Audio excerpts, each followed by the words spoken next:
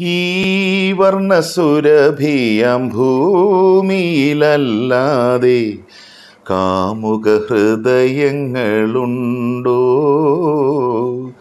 സന്ധ്യകളുണ്ടോ?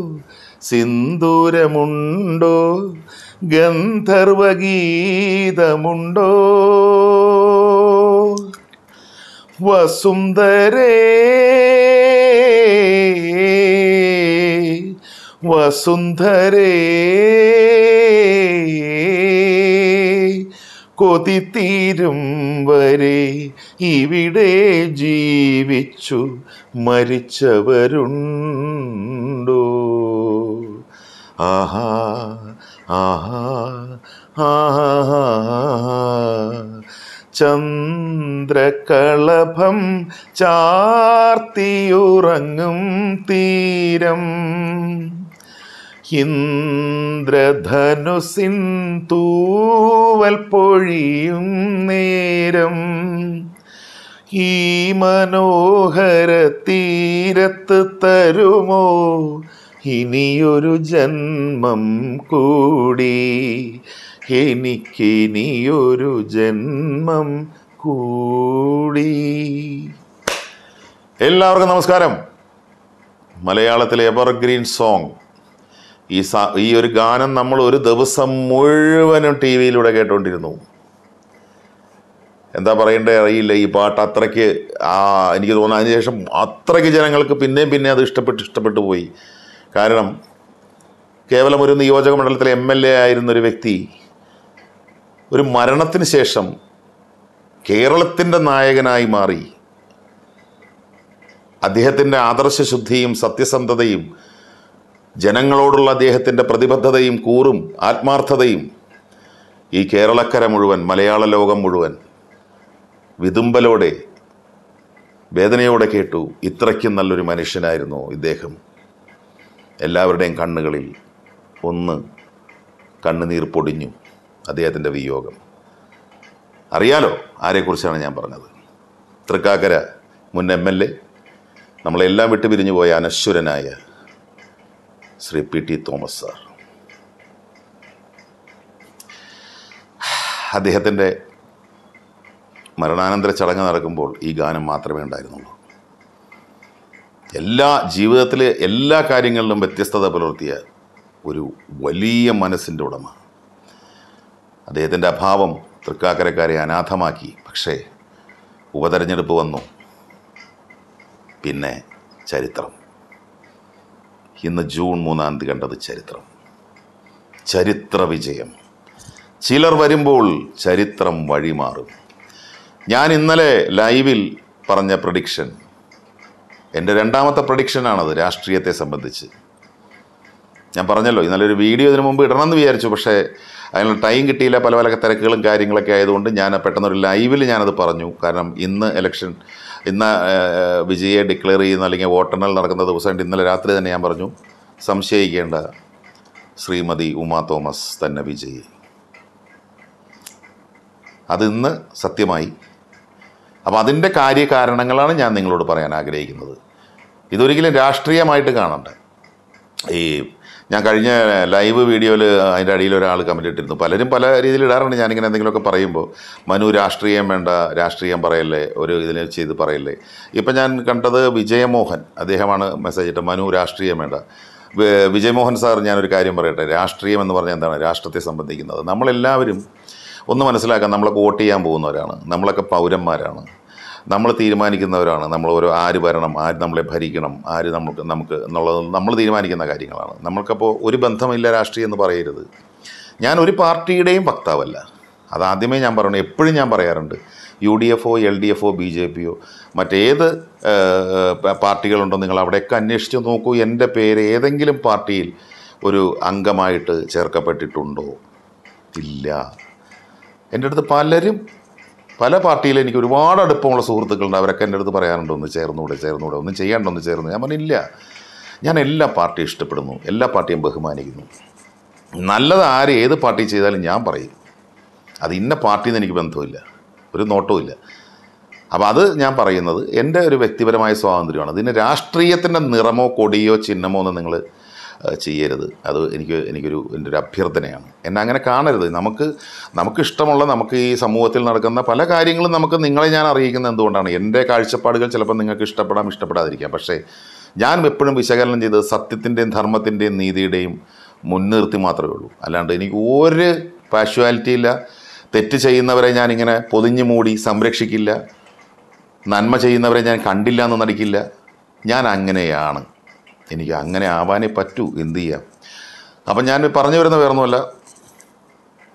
Shrimati Uma Thomas royal salute. ചരിത്ര വിജയം ഇരുപത്തയ്യായിരം വോട്ടുകൾക്കപ്പുറം നേടി വിജയിക്കുക എന്ന് പറഞ്ഞാൽ തൃക്കാക്കരയുടെ ചരിത്രത്തിലാദ്യം. ഞാൻ സത്യം പറഞ്ഞാൽ ഞാൻ ഉദ്ദേശിക്കുന്ന ഒരു പതിനയ്യായിരത്തിനും പതിനെണ്ണായിരത്തിനും ഇടയ്ക്കുള്ള ഭൂരിപക്ഷമാണ്. ഒരു പതിനയ്യായിരം പതിനെണ്ണായിരം ഒരു അത്രയും ഞാൻ ഉദ്ദേശിച്ചിരുന്നുള്ളൂ. ഞാനത് ഉദ്ദേശിച്ചിരുന്നതാണ് സത്യത്തിൽ അത്രയും ഭൂരിപക്ഷം ഞാൻ ഉദ്ദേശിച്ചിരുന്നു. പക്ഷേ മുന്നേ മുന്നോട്ട് പോയി. അപ്പോൾ ഇത് ആരുടെ വിജയമാണ്? ആരുടെ തോൽവിയാണ്? അതാണ് ഞാൻ പറയാൻ പോകുന്നത്. അതായത് ശക്തമായ മത്സരം നടന്നത് യു ഡി എഫും എൽ ഡി എഫും തമ്മിലാണ്. ഇല്ലേ?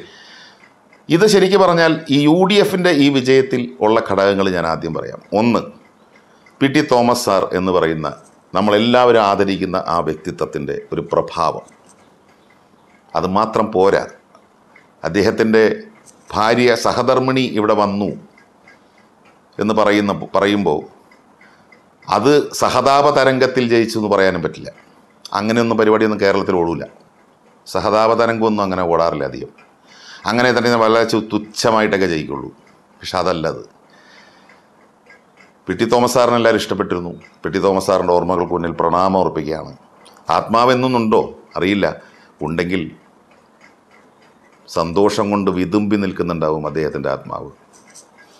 എന്തുകൊണ്ടാണെന്നറിയോ? ശ്രീമതി ഉമാ തോമസ്. ഞാൻ ഞാൻ ശ്രീമതി ഉമാ തോമസ് എന്ന് പറഞ്ഞാൽ ഉമച്ചേച്ചി എന്ന് ഞാൻ വിളിച്ചോട്ടെ. എനിക്ക് അങ്ങനെ വിളിക്കാൻ തോന്നുകയാണ്. കാരണം ഒന്നാമത്തെ എന്റെ അമ്മയുടെ ഒരു ചായയുണ്ട് ചേച്ചിക്ക്. അതുകൊണ്ട് തന്നെ എനിക്കൊരു പ്രത്യേക ഇഷ്ടമുണ്ടായിരുന്നു ഉള്ളത് പറയാമല്ലോ എന്നും പറഞ്ഞ് അത് രാഷ്ട്രീയപരമായിട്ടല്ല. അമ്മയുടെയൊക്കെ ചായ ഉള്ളവരെ കാണുമ്പോൾ നമുക്കൊരു ഇഷ്ടം തോന്നില്ലേ? അമ്മ എന്റെ അമ്മച്ചിയുടെ ചായയുണ്ട് കുറച്ച്. എവിടേക്കോ അപ്പോൾ ഇവരുടെ കുടുംബചരിത്രമൊക്കെ നമുക്കറിയാം. ഒരുപാട് നമ്മൾ കേട്ടതാണ്. പല ഇതിലൂടെ അദ്ദേഹത്തിന്റെ മരണശേഷം ഇവർ മഹാരാജാസിൽ ഒരുമിച്ചുണ്ടായിരുന്നു. അവിടെ വെച്ച് പ്രണയബദ്ധരായി. പക്ഷേ അന്ന് ഒന്ന് ആലോചിച്ച് നോക്കുക തോമസ് സാറിനേക്കാൾ കൂടുതൽ രാഷ്ട്രീയത്തിലെ ഉജ്ജ്വല നേതാവായിരുന്നു ഈ ഉമ്മച്ചേച്ചി അവിടുത്തെ വൈസ് ചെയർമാനൊക്കെ ആയിരുന്നു. രാഷ്ട്രീയത്തിലെ വളരെ തീപ്പൊരി നേതാവ് തന്നെയായിരുന്നു. തീപ്പൊരി വനിതയായിരുന്നു. തീപ്പൊരി മഹിളാരത്നമായിരുന്നു. അങ്ങനെ ഇവർ പ്രണയബദ്ധരായി ഇവർ വിവാഹം കഴിക്കാൻ തീരുമാനിച്ചപ്പോൾ അവർ തന്നെ തന്റെ ഭർത്താവിന് വേണ്ടി രാഷ്ട്രീയം ഒഴിയുകയാണ് ചെയ്തത്. അതാണ് ആ ചേച്ചിയുടെ വലിയ മനസ്സ്. ശ്രീമതി ഉമയുടെ ഏറ്റവും വലിയ മനസ്സെന്ന് പറഞ്ഞാൽ അതാണ്. ഭർത്താവിന് വേണ്ടി ഒരുപക്ഷെ അവർക്ക് രാഷ്ട്രീയത്തിൽ തുടരണമെന്നും രാഷ്ട്രീയത്തിൽ എന്തെങ്കിലും ആവണമെന്നൊക്കെ ആഗ്രഹം ഉണ്ടായിരുന്നിരിക്കാം. പക്ഷേ വേണ്ട. തന്റെ ഭർത്താവിന് വേണ്ടി അത് ഒഴിഞ്ഞു കൊടുത്ത് ആ ഭർത്താവിന്റെ നിഴലായി ഒരു വീട്ടമ്മയായി. ആ ഭർത്താവിന്റെയും മക്കളുടെയൊക്കെ കാര്യം പിന്നീട് മക്കളുടെ മക്കളുണ്ടായപ്പോൾ അവരുടെയൊക്കെ കാര്യം നോക്കി ഒതുങ്ങി ജീവിച്ച് ഭർത്താവിന് എല്ലാവിധ പിന്തുണകളും രാവും പകലും കൊടുത്ത് അദ്ദേഹത്തിനെ സംരക്ഷിച്ച് നിർത്തിയ ഒരു ആദരണീയയായ ഒരു ഒരു സ്ത്രീരത്നമാണ് ഉമ തോമസ്. പക്ഷെ കാലത്തിന്റെ കാവ്യനീതി അത് അവിടെ വച്ച് പോയ ആ രാഷ്ട്രീയം വീണ്ടും നിങ്ങളുടെ കയ്യിൽ വരണമെന്നുള്ളത് കാലത്തിന്റെ കാവ്യനീതി. അതും അദ്ദേഹത്തിന്റെ പിൻഗാമിയായി വരിക. അവർക്കത് കിട്ടി. അവരത് വിനയപൂർവം സ്വീകരിച്ചു. അത് രാഷ്ട്രീയ മോഹമോ അധികാരമോഹത്തിനോ വേണ്ടിയല്ല. എന്റെ ഭർത്താവ് ഈ മണ്ഡലത്തിന് വേണ്ടി ചെയ്തു വെച്ച കാര്യങ്ങൾ ഇനി ചെയ്യാൻ ആഗ്രഹിച്ച കാര്യങ്ങൾ സ്വപ്നം കണ്ട കാര്യങ്ങൾ എനിക്ക് പൂർത്തിയാക്കണം. എന്നുള്ള ആ ഭർത്താവിനോടുള്ള സ്നേഹത്തിന്റെ ആധിക്യം കൊണ്ടാണ് അവർ ഈ രാഷ്ട്രീയത്തിലേക്ക് പിന്നെ തിരിച്ചു വരുന്നത്. എതിരൊന്നും പറയാതെ വന്നത് അതുകൊണ്ടാണ് ഞാൻ വിശ്വസിക്കുന്നത്. നല്ല കുലീനമായ സംസ്കാരമുള്ള വിനയാന്യതയായി എല്ലാവരുടെ മുമ്പിലും അവർ നിൽക്കുന്നതും വോട്ട് അഭ്യർത്ഥിക്കുന്നതൊക്കെ ഞാൻ വീഡിയോയിലൂടെ കണ്ടു. ഞാൻ അപ്പോഴേ മനസ്സിൽ കുറിച്ചു ആരും ഇഷ്ടപ്പെട്ടു പോകുന്ന ഒരു വ്യക്തിത്വം. ആരെയും കീറി മുറിക്കുന്നില്ല ആരെയും വിമർശിക്കുന്നില്ല. രാഷ്ട്രീയപരമായിട്ട് രാഷ്ട്രീയക്കാർ പരസ്പരം അങ്ങോട്ടും ഇങ്ങോട്ടും ഒക്കെ പറയുന്ന പോലെ ഒന്നുമില്ല. വിനയപൂർവം തന്നെ ഏൽപ്പിച്ചോളൂ ഞാൻ നോക്കിക്കോളാം നിങ്ങളെ. എന്റെ ഭർത്താവിന്റെ കരുത്തും അനുഗ്രഹവും എന്റെ കൂടെയുണ്ട് എന്നവരുടെ മനസ്സ് പറയുന്നു. അത് ജനം കേട്ടു. കാരണം വാ കൊണ്ട് പറയുന്നതല്ല ഹൃദയം കൊണ്ട് പറയുന്നത് ജനം കേൾക്കും. അതുകൊണ്ടാണ് ഒരുപക്ഷെ യു ഡി എഫിനെ പോലും ഞെട്ടിച്ച ഭൂരിപക്ഷത്തിൽ ശ്രീമതി ഉമാ തോമസ് വിജയത്തിന്റെ വിജയ കിരീടമണിഞ്ഞത് കോൺഗ്രസിന്റെ ഏക വനിതാ പ്രതിനിധി. അപ്പം ഞാൻ പറഞ്ഞത് ഇത് സഹതാപം കൊണ്ടല്ല അതൊന്ന്. ഇവരുടെ വ്യക്തിപ്രഭാവവും വെറുമൊരു ദോശ ചുട്ടുകൊണ്ടിരിക്കുന്ന വീട്ടമ്മയെ പിടിച്ച് ഇങ്ങോട്ട് കൊണ്ടുവന്നതല്ല. നന്നായിട്ടറിയാം രാഷ്ട്രീയം. നന്നായിട്ടറിയാം രാഷ്ട്രീയം എന്താണ്? രാഷ്ട്രീയത്തിൽ എന്താണ് ഒരു നേതാവ് ചെയ്യുന്നത് എല്ലാം അറിയാവുന്ന ഒരു സ്ത്രീയാണ് അവർ ഇത് മനസ്സിലാക്കിയതാരാണ് നമ്മുടെ പ്രതിപക്ഷ നേതാവ് ശ്രീ വി ഡി സതീശൻ. അതിനൊരു സല്യൂട്ട് കാരണം സാധാരണഗതിയിൽ ഇലക്ഷൻ വരുമ്പോൾ ഈ യു ഡി എഫ് കോൺഗ്രസിന്റെ യു ഡി എഫ് എന്നല്ല പറഞ്ഞത് കോൺഗ്രസിന്റെ മതിലുകളൊക്കെ കൈപ്പത്തി മാത്രമേ ഉണ്ടാവുള്ളൂ. സ്ഥാനാർത്ഥിയെ തീരുമാനിച്ചിട്ടുണ്ടാവില്ല. ഡൽഹിക്ക് കുറേ കൂട്ടർ പോകണു ഡൽഹിയിൽ നിന്ന് കുറേ കൂട്ടർ ഇങ്ങോട്ട് വരുന്നു. ചർച്ച മറ്റത് മറിച്ചത് ഹൈക്കമാൻഡ് ഇപ്പുറത്ത് കെ പി സി ആടി വീടി വിളി. ലാസ്റ്റൊക്കെയാണ് സ്ഥാനാർത്ഥി വരുന്നത്. അപ്പോഴേക്ക് എൽ ഡി എഫും ബി ജെ പി ഒക്കെ സ്ഥാനാർത്ഥി വെച്ചിട്ട് മുന്നോട്ട് പോയിട്ടുണ്ടാവും. ഇവിടെ ഞെട്ടിച്ചുകൊണ്ട് Shri V D Satheesan K P C C president Shri K Sudhakaran ഒരു വലിയ നീക്കം തന്നെ നടത്തി. കുറേ പേർക്ക് പ്രതിഷേധമുണ്ടായിരുന്നു. കുറേ സ്ഥാനമോഹികളുണ്ടായിരുന്നു അധികാരമോഹികളുണ്ടായിരുന്നു. അതിനെല്ലാം നിഷ്പ്രഭമാക്കിക്കൊണ്ട് അവർ ശക്തമായിട്ട് തന്നെ ഈ ഒരു സ്ഥാനാർത്ഥിയെ മുന്നോട്ട് വച്ചപ്പോൾ തന്നെ യു ഡി എഫ് വിജയിച്ചു. കാരണം എൽ ഡി എഫിന്റെ സ്ഥാനാർത്ഥി പോലും അന്നേരം ആയിട്ടില്ല. ആയി. പിന്നെ ഒരു കൺഫ്യൂഷൻ അവരും ഇങ്ങനെ വച്ചു മാറ്റി. ഇല്ലേ? ആദ്യം ഒരു സ്ഥാനാർത്ഥിയെ വെച്ചു മാറ്റിയിട്ട് അടുത്ത സ്ഥാനാർത്ഥിയെ കൊണ്ടുവന്നു. ഇതാണ് ഞാൻ പറഞ്ഞത്. ഇത് ഇതിൽ ശരിക്കും അഭിമാനിക്കാവുന്നത് ശ്രീ വി ഡി സതീശൻ. അദ്ദേഹത്തിന്റെയാണ് അത് എറണാകുളം ജില്ല എന്ന് പറഞ്ഞാൽ അദ്ദേഹത്തിന്റെ അണ്ടറിലാണ്. അദ്ദേഹം ഐ ബി ഈഡനുമൊക്കെയാണ് ഇവിടെ അതിന്റേതായ പ്രവർത്തന മികവ് കൊണ്ട് ഈ ഈ ഒരു ഈ ഒരു പോരാട്ടത്തിൽ ഈ പോരാട്ട വിജയത്തിൽ ചുക്കാൻ പിടിച്ചവർ. എന്റെ രണ്ടാമത്തെ പ്രവചനമാണിത്. അപ്പം നിങ്ങൾ വിചാരിക്കും ആദ്യത്തെ പ്രവചനം. ഞാൻ ഇതിന് മുമ്പ് വീഡിയോയിൽ പറഞ്ഞിട്ടുണ്ട്. പത്ത് വർഷങ്ങൾക്ക് മുമ്പ് ഞാൻ നടത്തിയൊരു പ്രവചനം. അത് പബ്ലിക്കായിട്ടല്ല ശ്രീ വി ഡി സതീശനോട് ഞാൻ പറഞ്ഞത്. ഒന്നുകൂടെ ഞാൻ ആവർത്തിക്കും ചെറുതായിട്ട്. അതായത് നിങ്ങൾക്ക് ഓർമ്മയുണ്ടോ? ഉമ്മൻചാണ്ടി സർക്കാർ ഭരണത്തിൽ വരുമ്പോൾ അന്ന് എല്ലാവരും തീരുമാനിച്ചിരുന്നു. അതായത് ഇപ്പോൾ ഈ രണ്ട് പിണറായി സർക്കാരിന് മുമ്പ് അന്ന് എല്ലാവരും തീരുമാനിച്ചിരുന്നു. അന്ന് ഉറപ്പിച്ചിരുന്ന ഒരു മന്ത്രി പദമായിരുന്നു ശ്രീ വി ഡി സതീശന്റെ. ഉറപ്പിച്ചിരുന്നു. പക്ഷെ ഒരു രാത്രി കൊണ്ടതെല്ലാം മലക്കം മറിഞ്ഞു. അദ്ദേഹത്തിന് മന്ത്രി പദവി ഇല്ല എന്നുള്ള ഒരു പ്രഖ്യാപനം വന്നു. അദ്ദേഹം ഒന്നും പരാതിയില്ല പര പരിഭവമില്ല. അതിന്റെ അടുത്ത ദിവസം ഞങ്ങളുടെ എന്റെ അമ്മയുടെ തറവാട് കുടുംബയോഗമായിരുന്നു. അദ്ദേഹത്തെ അതിന് മുമ്പേ തന്നെ ഗസ്റ്റായിട്ട് വിളിച്ചിരുന്നത്. സുസ്മേര തന്നെ ഇദ്ദേഹം രാവിലെ എത്തി. പക്ഷേ എല്ലാവർക്കും ഭയങ്കര വിഷമമായിരുന്നു. കാരണം എല്ലാവരും ആഗ്രഹിച്ചിരുന്നു അദ്ദേഹത്തെ പോലൊരു വ്യക്തി കാരണം ഞങ്ങൾ പറവുകാരുടെ ഒരു അഭിമാനം അദ്ദേഹം മന്ത്രിയാവണം എന്നുള്ളതൊക്കെ എല്ലാവരും ആഗ്രഹിച്ചിരുന്നൊരു കാര്യമാണ് പക്ഷെ നടന്നില്ല. പക്ഷേ അതൊന്നുമില്ലാതെ അദ്ദേഹം വന്നു എല്ലാവരെയും തൊഴുത് സുസ്മേരവതനായി സംസാരിച്ചിറങ്ങുമ്പോൾ എന്റെ മനസ്സിൽ ഭയങ്കര വിഷമമായിരുന്നു. ഇറങ്ങുന്ന സമയത്ത് സോറി ഞാനും സംസാരിച്ചോട് വെച്ച്. സോറി ഞാൻ ഇറങ്ങുമ്പോൾ പറവൂർ ലയൺസ് ക്ലബിന്റെ വാതുക്ക വെച്ച് കൈ കൊടുത്തിട്ട് ഞാൻ അദ്ദേഹത്തോട് പറഞ്ഞു യാത്ര അയക്കുമ്പോൾ സതീഷ് ചേട്ടാ വിഷമിക്കരുത്. എന്റെ മനസ്സ് പറയുന്നു നിങ്ങൾ കേരളത്തിന്റെ മുഖ്യമന്ത്രിയാവേണ്ട ആൾ അപ്പോൾ സതീഷ് ചേട്ടൻ ശരിയിരിച്ചു കാരണം വേറെ ഒരു എം എൽ എ ആയിട്ട് നിൽക്കുന്നൊരു വ്യക്തിയാണെന്ന് എന്റെ തോളത്ത് കയറിയിട്ട് ചിരിച്ചുകൊണ്ട് അദ്ദേഹം പോയി. പക്ഷേ നിങ്ങളൊന്ന് ആലോചിച്ച് നോക്കുക അപ്രതീക്ഷിതമായ നീക്കത്തിലൂടെ അദ്ദേഹം പ്രതിപക്ഷ നേതാവായി. പ്രതിപക്ഷ നേതാവായി എന്ന് മാത്രമല്ല നിയമസഭയിലെ ഗർജിക്കുന്ന സിംഹമായി. ഇന്ന് വരെ കേരളത്തിൽ ഒരു പ്രതിപക്ഷ നേതാവിനും കിട്ടാത്ത ജനപ്രീതി അദ്ദേഹത്തിന് കിട്ടി. എന്തുകൊണ്ട്? ഓരോ കാര്യങ്ങൾ പഠിച്ച് മനസ്സിലാക്കി വിശകലനം ചെയ്ത് ഭരണപക്ഷമായിക്കോട്ടെ ഓപ്പോസിറ്റ് ആരായിക്കോട്ടെ അവരുടെ വായടപ്പിക്കുന്ന രീതിയിൽ സംസാരിക്കുന്നു. അത് ഒരാൾക്ക് അദ്ദേഹത്തെ ഖണ്ഡിക്കാൻ കഴിയുന്നില്ല. അതാണ് അദ്ദേഹത്തിന്റെ മികവും കഴിവും. ഇവിടെയും അത് പ്രവർത്തിച്ചു. ചങ്കൂറ്റത്തോടെ. ഇതുപോലെ പോകണം കോൺഗ്രസ്. കോൺഗ്രസ് ഇതുപോലെയാണ് മുന്നോട്ട് പോകേണ്ടത്. കാരണം മറ്റൊന്നും കൊണ്ടല്ല. ഈ ഗ്രൂപ്പും ഗ്രൂപ്പുകളെയും മറ്റതും അധികാര തർക്കവും എത്ര പ്രായമായാലും ഇതിന്ന് പോവില്ല പോവില്ല കടിച്ചു തൂങ്ങി കിടക്കുന്നുള്ള ശാഠ്യങ്ങളൊക്കെ മാറ്റി നല്ല നല്ല നേതൃത്വങ്ങളും നല്ല നല്ല പുതിയ ആളുകളൊക്കെ വന്ന് ഇതിനെ ഒരു ഉജ്ജ്വലമാക്കണം. ഇപ്പോൾ ഇതൊരു തുടക്കമാണ് തൃക്കാക്കര. ഇനി ഇതുപോലെ ഇതേ പവറിൽ മുന്നോട്ട് പോവുക. എന്താ കാര്യം എന്ന് പറയുക അണികൾ കൂടെ ഉണ്ടാവും. കാരണം അണികളും ഇഷ്ടപ്പെടുന്ന അതാണ്. അല്ലാണ്ട് പടല പിണക്കവും പടലത്തർക്കവും പബ്ലിക്കായിട്ടിരുന്ന് ആരോ ഇത് ഉന്നയിക്കുക ഡിസിപ്ലിനില്ലായ്മ യാദവ കുലം മാതിരി തമ്മിത്തല്ല് ഇതൊന്നും കോൺഗ്രസ്സിന് ഭൂഷണമല്ല കോൺഗ്രസ് തകർന്നുകൊണ്ടിരിക്കുകയുള്ളൂ. പക്ഷേ ഇപ്പോൾ ഒരു തിരിച്ചറിവ് കോൺഗ്രസ്സിന് വേണം. ഇതുപോലെ മുന്നോട്ട് പോകണം ഒറ്റക്കെട്ടായിട്ട്. അങ്ങനെയാണ് ചിന്തിക്കേണ്ടത്. ഇപ്പം തന്നെ നിങ്ങൾ ആലോചിക്കുക കെ വി തോമസ് മാസ്റ്റർ എത്രയും നാൽപ്പത് നാൽപ്പത് വർഷമായിട്ട് എല്ലാ ആനുകൂല്യങ്ങളും എല്ലാ സ്ഥാനങ്ങളും ഒക്കെ നേടിയിട്ടും തനിക്ക് ഇനിയും വേണം ഇനിയും വേണം എന്നുള്ള ആർത്തിയും ത്വരയും കൊണ്ടല്ല അദ്ദേഹം കോൺഗ്രസിനെ യു ഡി എഫിനെ ഉപേക്ഷിച്ചിട്ട് അദ്ദേഹം എൽ ഡി എഫിന്റെ പാളയത്തിൽ വന്നത്? എന്ത് മര്യാദയുള്ളത് ഇതിൽ? എന്ത് മര്യാദയുള്ളത്? ഇത്രയും ആദരണീയനായിട്ടുള്ള ഒരു വ്യക്തിയാണ്. അദ്ദേഹത്തിന്റെ വില എല്ലാം പോയില്ല ഈ അവസാന അദ്ദേഹത്തിന്റെ ഇപ്പോൾ ഈ രാഷ്ട്രീയത്തിൽ ഇപ്പോൾ ഇങ്ങനെ ഇതെല്ലാം കഴിഞ്ഞ് ഇങ്ങനെ നിൽക്കുകയാണ് അദ്ദേഹം. ആ സമയത്ത് അദ്ദേഹത്തിന്റെ എല്ലാ വിലയും സ്വയം കൊണ്ട് കളഞ്ഞില്ലേ? അപ്പോൾ ചിന്തിക്കുക നമ്മളൊരു സമയം കഴിയുമ്പോൾ മാറി എല്ലാവർക്കും അവസരങ്ങൾ കൊടുത്തു പോവുക അതാണ് മാന്യത. ഈ കമ്മ്യൂണിസ്റ്റ് പാർട്ടിക്കുള്ളൊരു ഗുണം എന്ന് പറഞ്ഞു കഴിഞ്ഞാൽ നല്ല ഡിസിപ്ലിൻഡാണ് അവർ പറഞ്ഞു കഴിഞ്ഞാൽ അതനുസരിക്കുകയാണ്. കണ്ടില്ല കഴിഞ്ഞ അവിടുത്തെ മന്ത്രിമാരില്ല പുതിയ മന്ത്രിമാർ അത് അത് ഞാൻ പറഞ്ഞില്ല ഇത് ഇതൊക്കെ കോൺഗ്രസ് ഈ കമ്മ്യൂണിസ്റ്റ് ഇത് പാർട്ടിയിൽ നിന്ന് പഠിക്കേണ്ട കാര്യങ്ങൾ ഈ ഡിസിപ്ലിനൊക്കെ. അനുസരണം അച്ചടക്കം. ഞാൻ പറഞ്ഞത് ഞാൻ പറഞ്ഞ ഒരു പാർട്ടിയുടെ വക്താവല്ല ഇത് ഓരോരുത്തരും മനസ്സിലാക്കേണ്ട കാര്യങ്ങളാണ് ഞാൻ പറഞ്ഞത്. അപ്പോൾ എന്നെ സംബന്ധിച്ചിട്ട് ഈ യു ഡി എഫിനെ കുറിച്ച് ഇതേ പറയാനുള്ളൂ നല്ല ഒറ്റക്കെട്ടായിട്ട് പോവുക പവർഫുള്ളായിട്ട് പോവുക ഇതിന്റെ അകത്ത് അസ അസഹിഷ്ണുത വേണ്ട നല്ല സ്ഥാനാർത്ഥികളെ തന്നെ എവിടെയും പ്ലേസ് ചെയ്ത് പോവുക.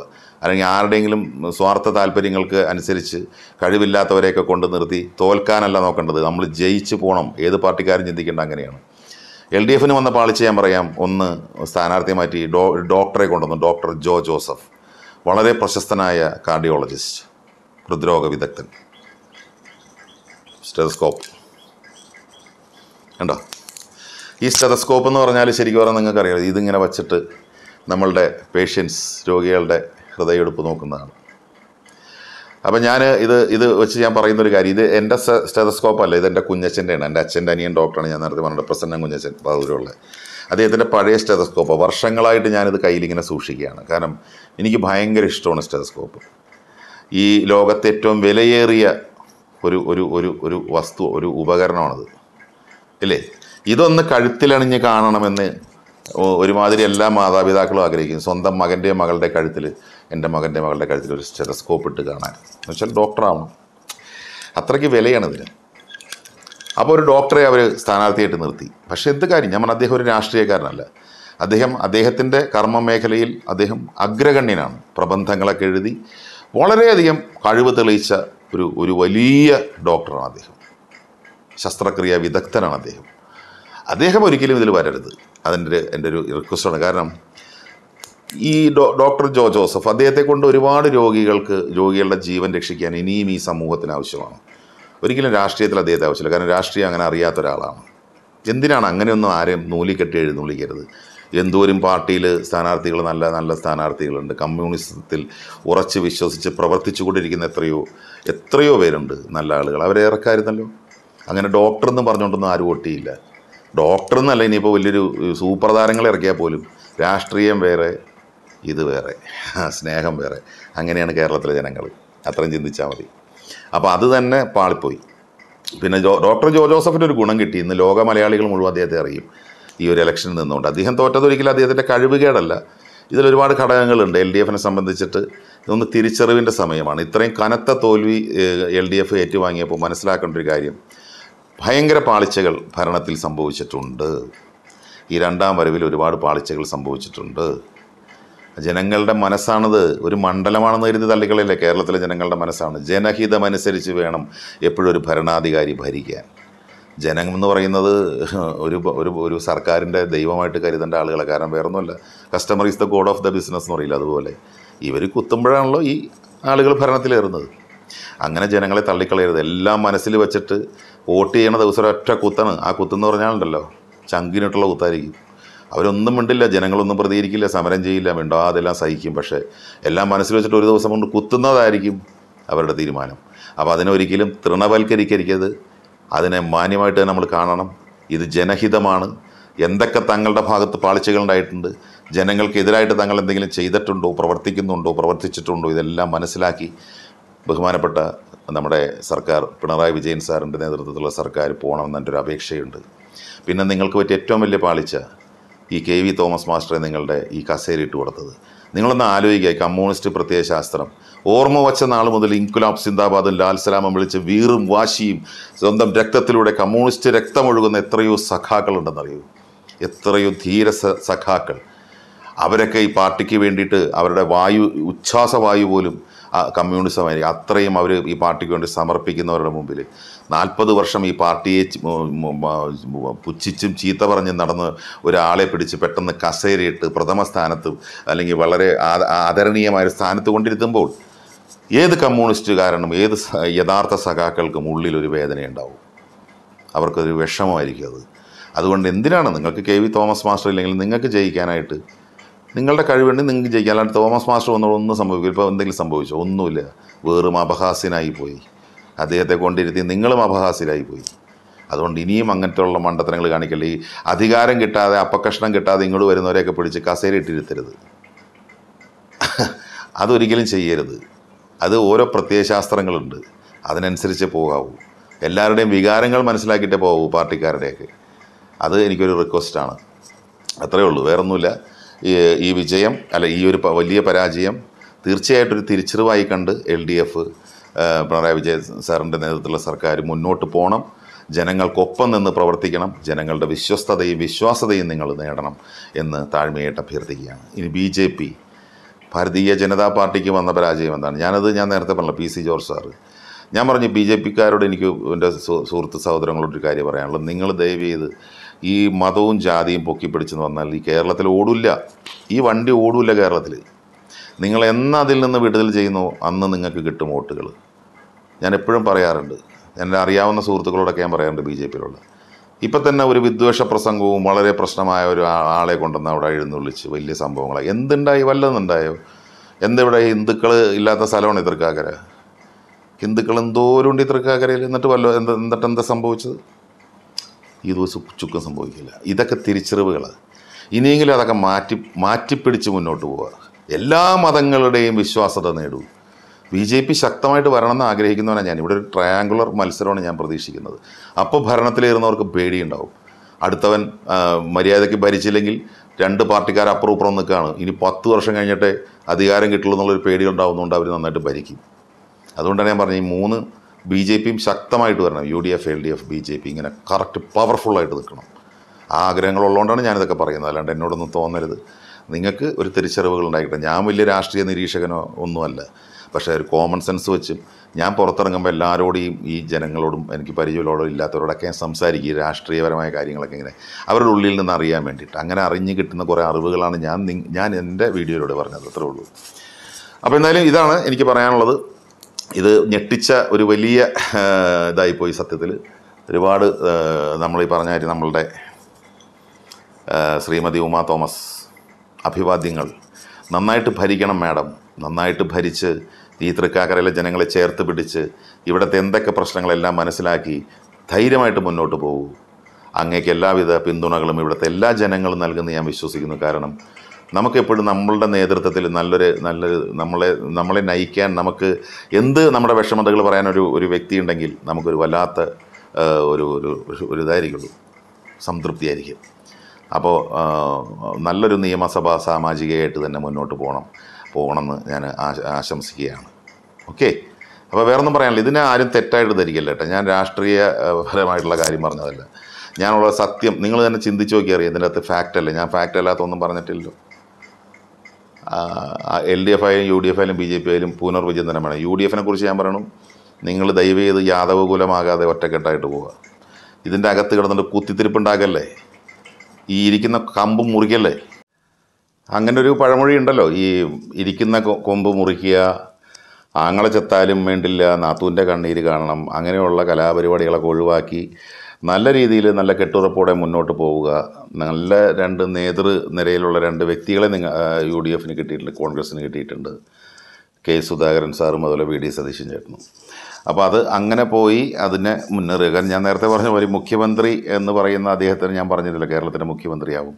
ഇപ്പം നിങ്ങൾ തന്നെ ഒന്ന് ആലോചിച്ച് നോക്കുക ഇപ്പോൾ ഈ പറഞ്ഞ പ്രതിപക്ഷ നേതാവാണ് അദ്ദേഹം. നാളെ അടുത്ത ഇലക്ഷനിൽ അദ്ദേഹത്തിന്റെ നേതൃത്വത്തിലാണ് കോൺഗ്രസ് യു ഡി എഫും തെരഞ്ഞെടുപ്പിനെ സമീപിക്കുന്നത്. ദാറ്റ് മീൻസ് മുഖ്യമന്ത്രി സ്ഥാനാർത്ഥി അദ്ദേഹം തന്നെയാണ്. യു ഡി എഫ് വിജയിച്ചു കഴിഞ്ഞാൽ തീർച്ചയായിട്ടും എനിക്ക് തോന്നുന്നില്ല high command A I C C തീർച്ചയായിട്ടും അദ്ദേഹത്തെ തന്നെ മുഖ്യമന്ത്രിയാക്കുള്ളൂ. ആ ഒരു ധീരോത്ത ധീരമായ ഒരു തീരുമാനം തന്നെ എടുക്കുന്നതാണ് ഞാൻ വിശ്വസിക്കുന്നത്. അപ്പോൾ നമുക്ക് കാത്തിരിക്കാം അതൊക്കെ സംഭവിക്കുന്നത് എങ്ങനെയാണ് എങ്ങനെയൊക്കെയാണെന്നുള്ളത്. ഓരോ പ്രവർത്തന മികവ് പോലെ ഇരിക്കും. പിന്നെ എൽ ഡി എഫിന്റെ കാര്യം ഞാൻ പറഞ്ഞു. എങ്കിലും ഞാൻ എൽ ഡി എഫിനോട് പറയുന്നു മുഖ്യമന്ത്രിയും സകല മന്ത്രിമാരും എല്ലാ എം എൽ എമാരും തൃക്കാക്കര വന്ന് വളരെയധികം ശക്തമായ പ്രചാരണം നടത്തിയിട്ട് പോലും എൽ ഡി എഫ് ഇത്രയും വലിയ ദയനീയ തോൽവി നേരിട്ടപ്പോൾ അത് നിസ്സാരമല്ല. അതൊരിക്കലും കൊച്ചായിട്ട് കുറച്ച് കാണരുത്. വേറെ എന്തെങ്കിലും വശത്ത് കൊണ്ടുപോയി തള്ളി. അതുകൊണ്ടായിരിക്കും വിജയിച്ചത് അതുകൊണ്ടായിരിക്കും അങ്ങനെയല്ല. തിരിച്ചറിവിന്റെ സമയമാണ്. തിരിച്ചറിവോടെ അത് മനസ്സിലാക്കി തെറ്റുകൾ മനസ്സിലാക്കി കൃത്യതയോടെ മുന്നോട്ട് പോകണമെന്ന് അഭ്യർത്ഥിക്കുകയാണ്. കാരണം നന്നായിട്ട് ഭരിക്കുന്നവരെ ഇവിടുത്തെ നിഷ്പക്ഷ വോട്ടേഴ്സ് എല്ലാവരും ഇഷ്ടപ്പെടും. നിഷ്പക്ഷ വോട്ടേഴ്സ് ന്യൂട്രൽ വോട്ടേഴ്സാണ് ഇവിടെ എല്ലാം തീരുമാനിക്കുന്നത്. അത് കേരളത്തിൽ ഒരുപാടുണ്ട്. അത് ഭരണപക്ഷവും പ്രതിപക്ഷവും ബി ജെ പിയും എല്ലാം ശ്രദ്ധിച്ചാൽ ഭാവിയിൽ ഒരുപാട് ഗുണം ചെയ്യുമെന്ന് ഞാൻ വിശ്വസിക്കുന്നു. ഇനി എന്റെ സബ്സ്ക്രൈബേഴ്സ് എന്റെ ഈ വീഡിയോ കാണുന്നവരോടുള്ളൊരു അഭ്യർത്ഥന. ദയവ് ചെയ്ത് എന്നെ ഒരു ഏതെങ്കിലും പാർട്ടിയുടെ വക്താവായിട്ടോ ഏതെങ്കിലും പാർട്ടിയെ മുന്നോട്ട് കാണിക്കാനോ പുറകോട്ട് കാണിക്കാനോ നിൽക്കുന്ന ഒരു വ്യക്തിയായിട്ട് കാണരുത്. ഞാനൊരു കൃത്യമായ അവലോകനമാണ് നടത്തുന്നത്. ഒരു പൗരൻ വോട്ട് ചെയ്യുന്ന ഒരു പൗരൻ എന്നുള്ള രീതിയിൽ ഞാൻ പറയുന്ന കാര്യങ്ങളാണ്. ആരെയും വേദനിപ്പിക്കാനോ ഒന്നിനുമല്ല. നമുക്ക് തെറ്റും കുറ്റമൊക്കെ ആർക്കും പറ്റാം. മനുഷ്യ സഹജമാണ്. പക്ഷേ അത് തിരുത്തി മുന്നോട്ട് പോകുമ്പോഴാണ് നമുക്കവിടെ ഒരു വിജയം കാണാൻ കഴിയുന്നതെന്ന് വിശ്വസിക്കുന്നു. കാരണം രാഷ്ട്രീയം എന്ന് പറഞ്ഞാൽ നിസ്സാരമല്ല. എന്റെ അടുത്തൊക്കെ പണ്ട് സ്ഥാനാർത്ഥിയായിട്ട് നിൽക്കണമെന്നൊക്കെ ഒരുപാട് പേര് പല ഇതിലൊക്കെ പറഞ്ഞിട്ടുണ്ട് എന്റെ അടുത്ത് സ്ഥാനാർത്ഥിയായിട്ട് നിൽക്കുമ്പോൾ. ഞാൻ പറഞ്ഞു എനിക്ക് പറ്റില്ല. ഞാനൊരു രാഷ്ട്രീയക്കാരനല്ല. കാരണം അതിന് ഒരുപാട് ക്വാളിറ്റീസ് വേണം. ഒരു ഭരണകർത്താവ് അല്ലെങ്കിൽ ഒരു നേതൃത്വ സ്ഥലത്ത് നിന്ന് ജനങ്ങളുടെ നേതാവായിട്ട് വരണമെങ്കിൽ നല്ല ക്വാളിറ്റി വേണം. അങ്ങനെ ക്വാളിറ്റിയും അതുപോലത്തെ കഴിവുള്ളവർക്കേ ഇതിലേക്കൊക്കെ വരാൻ പറ്റുള്ളൂ. അല്ലാണ്ട് ചുമ്മാ ഓടിക്കേറി വന്നിട്ട് ഞാൻ സ്ഥാനാർത്ഥി എന്ന് പറയുന്ന ആ ഒരു ഒരു ഒരു കാര്യമില്ല ഇവിടെ പല നടന്മാരെയൊക്കെ വിളിച്ചുകൊണ്ട് പോയി. ഇല്ലേ? പല നടന്മാരെ കൊണ്ടുപോയി. നടന്മാരാണെന്ന് പറഞ്ഞ് അവരെ കൊണ്ടുപോയി. ഈ രാഷ്ട്രീയത്തിന്റെ എ ബി സി ഡി കൊണ്ടുപോയി സ്ഥാനാർത്ഥിയായിട്ട് പരിഹാസിത പരിഹാസം ഏറ്റുവാങ്ങേണ്ടി വന്നവരുണ്ട്. ഒരു കാര്യമില്ല നമുക്ക് ഓരോരുത്തർക്കും ഓരോന്ന് ദൈവം നിശ്ചയിച്ചിട്ടുണ്ട്. എനിക്ക് നിശ്ചയിച്ചേക്കുന്നത് കലാരംഗമാണ്. എന്റെ ഒരു എന്താണ് അഭിനയ രംഗം അതിലൊക്കെ അഭിനയിച്ച് ജീവിച്ചു പോവുക. അത്രയേ ഉള്ളൂ. ഓരോരുത്തർക്കും ഓരോന്ന് ദൈവം വിധിച്ചിട്ടുണ്ട്. അപ്പോൾ അത്രയൊക്കെ ഉള്ളൂ. വേറൊന്നുമില്ല. ഞാൻ എന്റെ വീഡിയോ നിർത്തുകയാണ്. നിങ്ങളുടെ വിലയേറിയ അഭിപ്രായങ്ങൾ കമന്റുകൾ മാന്യമായിട്ട് നമുക്ക് സംവേദിക്കാം. അടുത്ത വീഡിയോ അറിയാലോ B B special wait and see എല്ലാവർക്കും മനോസ് വിഷന്റെ ഹൃദയം നിറഞ്ഞ ആത്മാർത്ഥമായ നന്ദി നമസ്കാരവും. പിന്നെ മറ്റേ ഷെയർ നിങ്ങൾക്ക് ഇഷ്ടപ്പെട്ടെങ്കിൽ നിങ്ങൾ ഷെയർ ചെയ്യുക സബ്സ്ക്രൈബ് ചെയ്യുക ബെല്ലൈക്കൺ അമർത്തുക ഫേസ്ബുക്ക് ഇൻസ്റ്റയൊക്കെ ഫോളോ ചെയ്യുക. നമുക്ക് നല്ല നല്ല കാര്യങ്ങൾ പറഞ്ഞ് നമുക്ക് മുന്നോട്ട് പോവാം. Thank you guys. Thank you very much. Jai Hind.